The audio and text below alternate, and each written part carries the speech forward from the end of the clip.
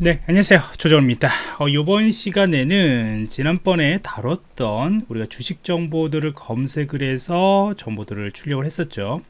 여기에 더해 가지고 한 기능을 좀 추가를 하도록 하겠습니다.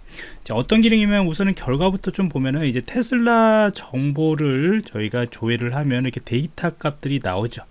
근데 이 데이터 값들을 나오는데 하나 뭔가 기능이 추가됐습니다. 바로 이제 보고서 다운로드라고 하는 기능이 추가된 것을 볼 수가 있어요 아마 여러분들도 앞에서 좀 같이 실습을 했다면은 한번 이 화면만 보고 한번 구현을 해 보시면은 좋을 것 같습니다. 그래서 이제 보고서 다운로드를 이렇게 클릭하시면은 이렇게 stock 데이터 제가 미리 좀 다운로드를 받았기 때문에 이렇게 데이터 정보들이 나오는 것을 볼 수가 있고요.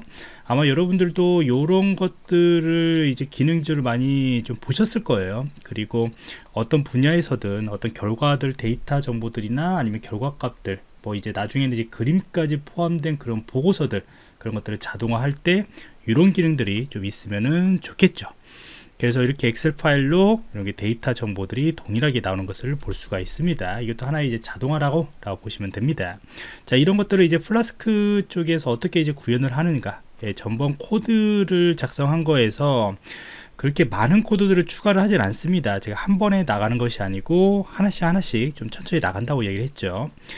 자 그래서 이제 파이썬 쪽에서는 지금 현재 뭐 목록은 좀 헷갈릴 수 있는데 아무튼 파이썬 코드 backend 쪽에서는 하나만 이제 추가를 시켜 주시면 됩니다.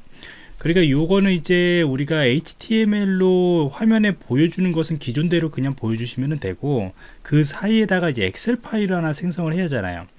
근데 이제 굉장히 편한 것은 뭐냐면은 여기 stock 데이터에서 가져온 거에서 우리가 to Excel이라고 하는 우리가 데이터 프레임 정보들을 가지고 어, 이렇게 to excel이라고 하는 것으로 변환만 시켜주시면 됩니다.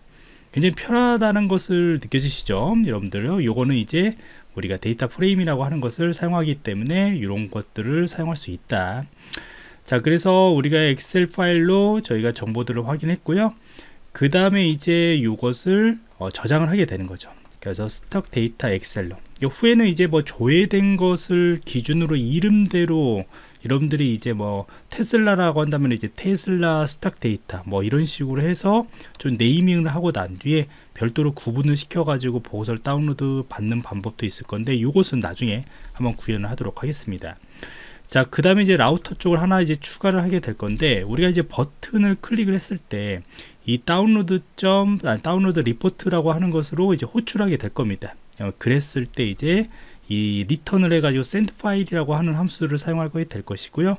위에서 이미 정해진 예, 데이터 어, 이름이기 때문에 이것을 그대로 사용하시면 되고 그 다음에 as attachment는 이제 true로 이렇게 옵션을 설정해 주시면 됩니다. 그래서 요 한 줄만 여러분들이 추가를 하시면 됩니다 굉장히 쉽죠.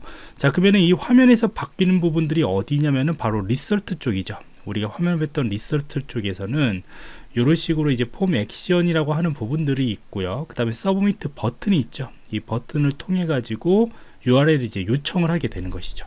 그래서 요청을 할 때는 이제 download report라고 하는 것으로 이제 버튼을 클릭했을 때 요청을 하게 되면은 아까 저희가 구현했던 이쪽으로 이제 나오게 되는 것이고 뭐 post 방식으로 하던 이제 뭐 get 방식으로 하던 여러분들이 선택을 해 가지고 진행하시면 될 것 같습니다 지금. 자 그래서 이렇게 구현을 했어요. 물론 이제 다른 방법으로 여러분들 구현하셔도 되고 아까처럼 이제 naming을 좀 달리 지정해 주셔 가지고 또 구현하셔도 상관이 없습니다. 아무튼 여러분들이 이렇게 예, 보고서라고 하는 것들. 그 다음에 나중에는 이제 뭐 pdf 파일 형식으로도 이제 어, 다운로드 받을 수 있게 한다거나 HTML 페이지 형식으로도 다운로드 받을 수 있다거나. 그러니까 여러 가지 보고서 형태들을 요구를 합니다. 솔루션들을 이제 보시면은. 그래서 그런 것들을 여러분들이 하나씩 하나씩 좀 구현을 해 나가시면은 좋을 것 같습니다